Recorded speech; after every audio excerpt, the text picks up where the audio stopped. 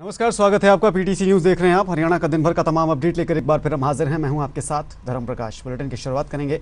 हरियाणा के सीएम मनोहर लाल ने आज पंचकुला में विभाजन विभीषिका पर आधारित कार्यक्रम में शिरकत की है। पंचकुला के मेट्रोपॉलिटन डेवलपमेंट अथॉरिटी ने लाल लकीर नाम के इस नाटक के माध्यम से इस दौर का विस्तृत वर्णन कार्यक्रम के ज़रिए यहाँ पर किया है। इस मौके पर मुख्यमंत्री मनोहर लाल के साथ साथ विधानसभा अध्यक्ष ज्ञानचंद गुप्ता और सांसद नायब सैनी, पूर्व मंत्री कर्णदेव कम्बोज, मुख्य सचिव संजीव कौशल पंचकुला के मेयर कुलभूषण गोयल और अन्य तमाम अधिकारी भी मौजूद रहे। इस मौके पर मुख्यमंत्री मनोहर लाल ने कहा कि प्रधानमंत्री नरेंद्र मोदी ने 14 अगस्त 2021 को विभाजन विभीषिका स्मृति दिवस के रूप में मनाने की घोषणा की थी। उन्होंने कहा कि देश की आज़ादी के बाद पहले ऐसे वो प्रधानमंत्री हैं जिन्होंने उन्नीस के विभाजन की पीड़ा को समझा और इतिहास जानने के लिए युवाओं को अवगत करवाने का मौका दिया। सीएम ने कहा कि इस दिवस के माध्यम से युवाओं को इतिहास जानने का अवसर मिलेगा।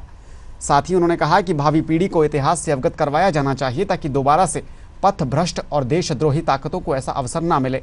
उन्होंने कहा कि हमें आपस में एकजुट होकर विद्रोह की भावना को दूर करना है और इसके लिए समाज को जागरूक करने के साथ साथ एकजुटता के साथ रहने का भी संकल्प लेने की ज़रूरत है।